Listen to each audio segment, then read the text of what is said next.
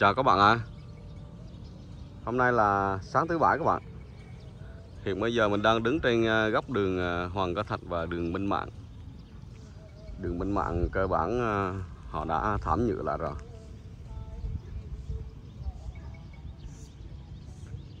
Con đường Cơ Thạch mình thấy đẹp đó các bạn.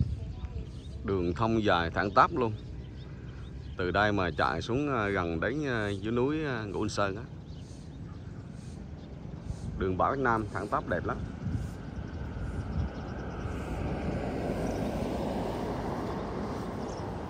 Chạy luôn ờ, lên tới trên này luôn này đó. Dài đẹp. Chỗ này có một lô đất trống, tạm thời chưa làm gì. Tranh thủ ờ, làm ờ, làm cái sân sân bám này sân bóng ở đây mình thấy um, họ làm còn vip pro đó các bạn. Sân này sân cỏ luôn chứ không phải là sân nhân tạo các bạn ạ. Sân cỏ luôn. Trời nắng nóng như thế này mà để duy trì cái sân cỏ này là phải chịu khó lắm á. Chứ không là nắng nó khô nó cháy nó cháy hết. Sân cỏ đúng hiệu luôn ring luôn. Vỉa hè rộng rãi thoải mái. Chỗ này rộng là nhờ nó nó có cua, có đoạn à, đường à, đường này các bạn này đây. Đường này là cũng đường lớn 6 lần xe. Có cái đoạn bo qua đây cho nên vỉa hè chỗ này nó nó rộng này, đó. Góc mặt tiền chỗ này làm khách sạn hay là làm à, nhà hàng thì quá đẹp rồi. Khu đất vuông vắn đẹp.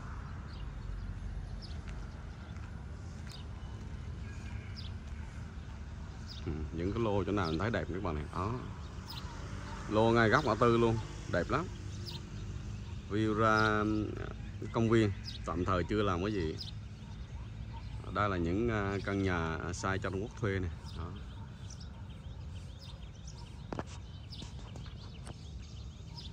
À, chỗ này có mấy lô cũng đẹp. À, chỗ này có mấy lô đẹp đó.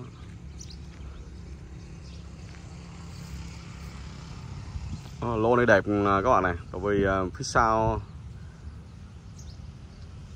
có một cái đường lùn nữa. Đường lùn cho cống đó. Là lùn cống này. Mua được lô đất này rất là đẹp. Có thể ờ, mở cửa được bên hông này này rất là thoáng, rất là mát. Thường mà những cái lô kẹp cống này là giá nó cao hơn những cái lô ống bình thường. Đó, nhiều người tận dụng uh, những cái lô đất trống để trồng rau trồng uh, đủ loại chơi như vậy trời nắng nóng đi trồng dẫn nó ra cũng khó lắm các bạn Đây này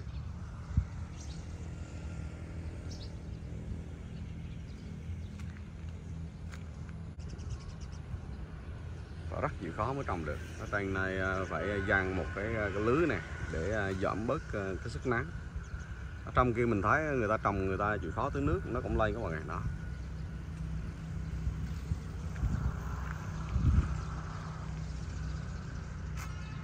À, lô gốc này họ cũng trồng các bạn đây lô gốc này mình thấy họ cũng trồng này đó. Là như trồng trồng bắp sao á? Trồng bắp. Còn lô này trồng mía đồ đủ loại hết nói chung là trồng cho vui thôi. Đây là một lô gốc đẹp này ngay ngõ tư nhà này xây dựng dính dịch Covid là đình à, hoãn cho đến bây giờ luôn. 1, 2, 3, 4, 5, 6, 6 tầng.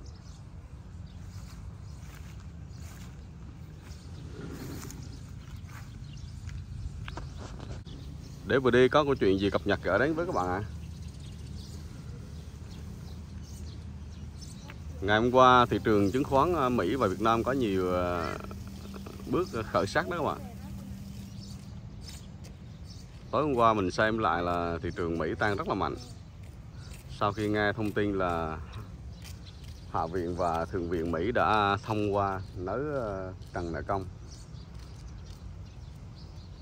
Chờ Tổng thống Mỹ ký ban hành nữa là coi như là xong. À, như vậy là nói về nợ công là người Mỹ và thế giới cũng đã thở phào nhẹ nhõm.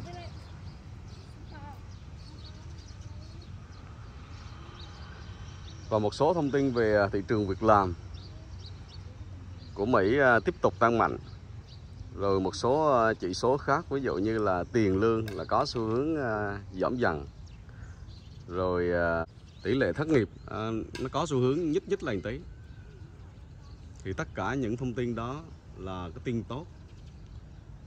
Và các nhà đầu tư kỳ vọng một cái điều nữa là tháng 6 đến đây ngân hàng trung ương Mỹ không tăng lãi suất nữa những thông tin như vậy đã làm cho thị trường chứng khoán tăng rất là mạnh mẽ. Ngày hôm qua, thị trường chứng khoán Việt Nam của chúng ta cũng tăng rất là mạnh. Tiền vào cũng rất là mạnh. Lao lắm rồi mới có một phiên à, có thanh khoản dồi dào. Đó là những cái tín hiệu à, tốt cho thị trường chứng khoán.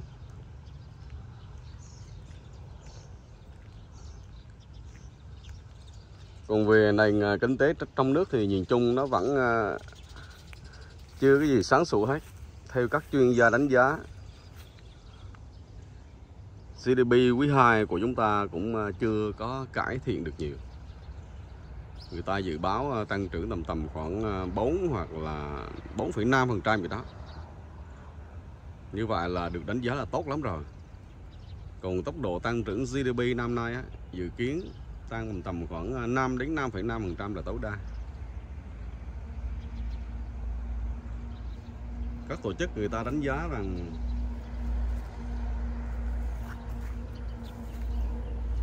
cái xuất khẩu của Việt Nam của chúng ta từ nay đến cuối năm vẫn chưa có gì cải thiện. Các thị trường chính của chúng ta như Mỹ, EU rồi um, Nhật Bản, Hàn Quốc cũng chưa có gì cải thiện.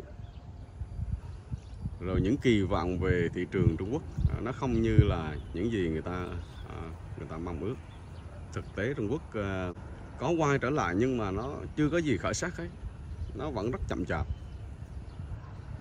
Rồi khách du lịch đến Việt Nam chủ yếu là khách nước ngoài, khách Tây hay là một số dòng khách khác, ví dụ như là Hàn Quốc, Nhật Bản. Chứ còn khách Trung Quốc dường như cũng rất là ít giữa Việt Nam và Trung Quốc vẫn còn một số vướng mắc về về cái bắp bo đó các bạn.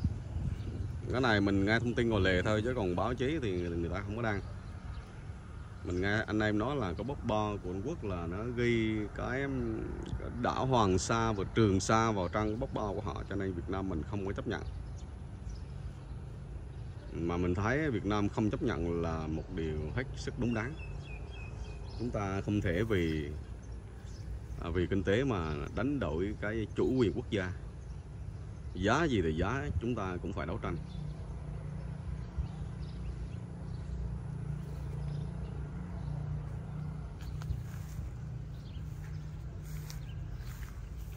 Rồi sức tiêu dùng trong nước của chúng ta cũng yếu. Rồi à, các ngành sản xuất của chúng ta nó vẫn ột ẹp chưa có gì khởi sắc hết rồi thị trường bất động sản thì khó khăn, chúng ta biết rồi đó. Các công ty bán lẻ từ đầu năm tới giờ, chúng ta thấy nó liên tục giảm sút. Rồi các dự án đầu tư công của chúng ta giải ngân cũng rất chậm chạp. Tiền ra không được. Đó. ngày hôm qua, tại một cái buổi họp tổ um, quốc hội các bạn này bộ trưởng ờ, bộ tài chính ờ, hồ đức phước có nói rằng hiện bây giờ đang ờ, tồn dư ngân sách nhà nước là lên đến một triệu tỷ đồng. À, các năm kết cáo cộng dồn lại dư một triệu tỷ đồng nhưng mà bây giờ vẫn đang lay hoay phân bổ. Mà các bạn ha, tiền của chúng ta nó có nhưng mà tiêu không được. Một triệu tỷ đồng là một con số cực kỳ lớn các bạn. Mấy năm trước là mình tiêu đau hết đó tiêu đau hết đó phải vay phải vay phải mượn khắp nơi hết. Còn bây giờ tiền đã có rồi. Tiền này là tiền các bạn biết là thu thuế nó dư. Tiêu không hết. Nó dư lại đó các bạn. Nhưng mà các bạn ha. Tiền đó mà đầu tư nó có hiệu quả. Là nó tạo ra công an việc làm nó kích cào lên ghê lắm. Nhưng mà ngạc một điều là số tiền đó nó còn nằm ở, ở trong kho thì cũng ta không giải ngân được. Nằm trên ảnh đó. Lô góc chỗ nào mình thấy cũng đẹp các bạn này, đó.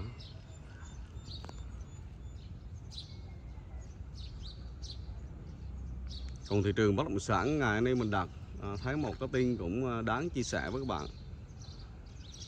Các ngày gần đây các môi giới rau bán một cái dự án ở Bình Dương á. Dự án do Kim Oanh làm chủ đầu tư họ nói rằng à, dự án này à, chủ đầu tư cam kết mua lại sau 2 năm à, với lợi nhuận lên đến 30% có nghĩa là như thế nào các bạn này có nghĩa là dự án này á là bao gồm nhiều sản phẩm đất nền có nhà phố có nhà ở xã hội có.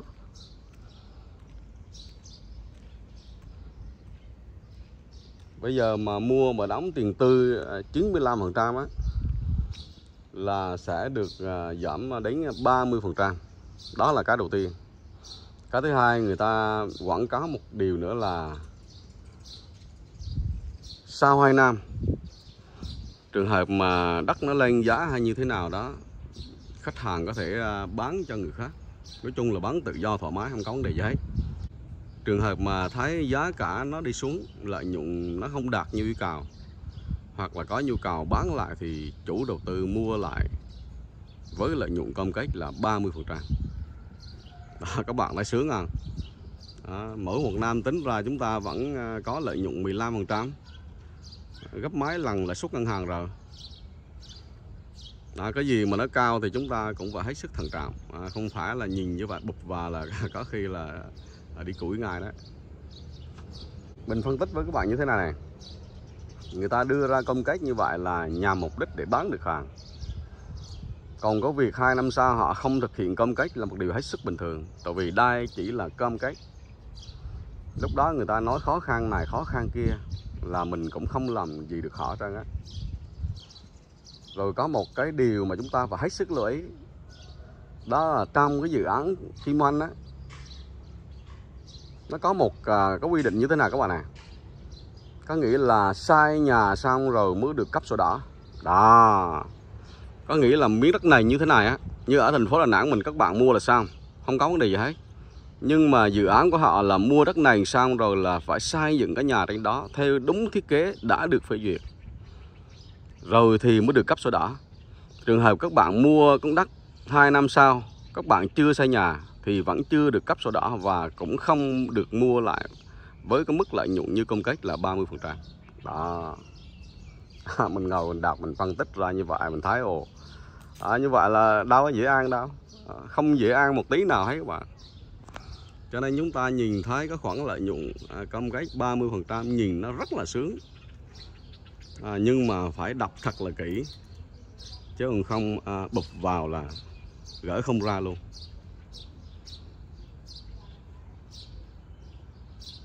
Khu chỗ này mình thấy nó yên tĩnh. Con đường này cách con đường à, Hoàng Ca Thạch hồi nãy mình đi ngang qua chỉ có một đoạn thôi. Vào đây ở nó có cảm giác là nó kín hơn này. Nó phù hợp với những người mà thích không gian yên tĩnh. Các bạn à, đi vào đây là ở nó kín. Nó không có ồn ào.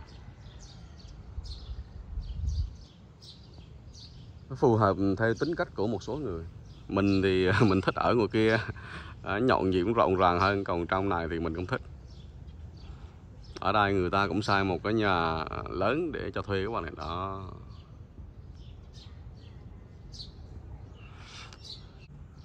Cái nhà này người ta lỡ người ta sai rồi họ cũng phải hoàn thiện luôn. Chứ còn sai là các bạn biết rồi đó. Nên cho thuê cũng khó lắm như cái nhà này là người ta bỏ ngang luôn các bạn này. Đó. Tô trong tô ngồi hết rồi. Bây giờ chỉ có tiền là vào làm hoàn thiện là sao? Làm cửa rồi làm nội thất ở trong nữa là có thể đưa vào khai thác được. Nhưng mà làm tới đó hình như là có vấn đề. À, hết tiền hay là như thế nào đó. Đây là con đường 5 năm. Đó.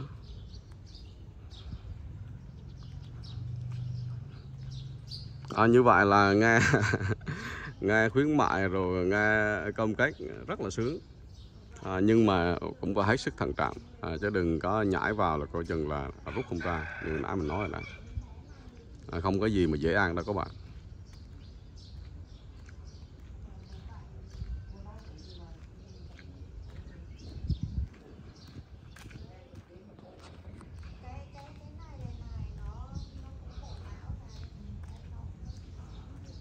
Là chỗ này có có công viên này đó.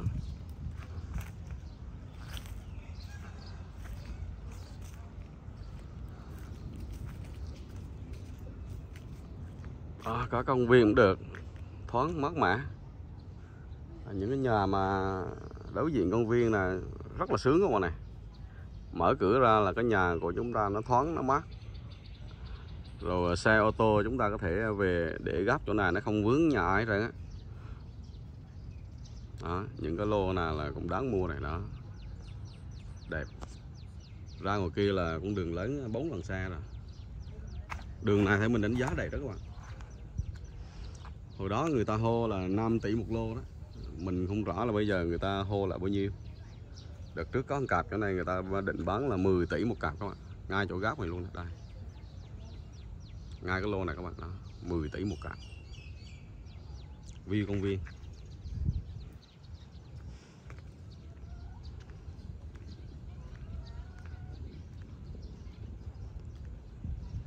Các bạn biết là hiện bây giờ các chủ đầu tư đều rất là khó khăn.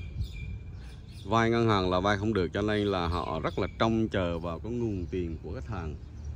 Tiền này là tiền tươi. Đó, người ta tận dụng à, nguồn tiền tươi của khách hàng cho nên là họ thực hiện một số chính sách à, ưu đãi. Nhưng mà mình nói các bạn á đây là những chính sách ưu đãi cho nhà đất hình thành trong tương lai mà hình thành trong tương lai là nó luôn luôn gặp những rủi ro không ai có thể lường trước được. Và nhiều dự án thì mình cũng đã có rất là nhiều bài à, thông tin và gửi đến với các bạn rồi. Những nhà đầu tư lâu năm họ cũng có lời khuyên của chúng ta. À, không nên nhìn những cái khoản lợi nhuận công kết mà nhảy vào. À, đối với những dự án đã hoàn thiện có sổ sách đường hoàng thì mới nay nghiên cứu xem xét. Còn không thì thôi.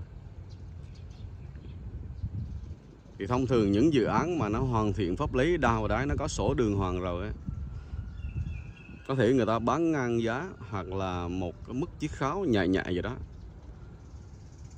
Nhưng như vậy đầu tư nó vẫn chắc chắn và nó vẫn an toàn hơn. Đó.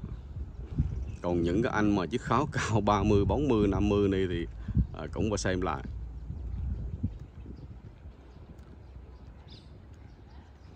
Rồi ngày đi ờ, đi tập thể dục có một vài câu chuyện cập nhật gửi đến với các bạn như vậy thôi. Bye chào các bạn ạ.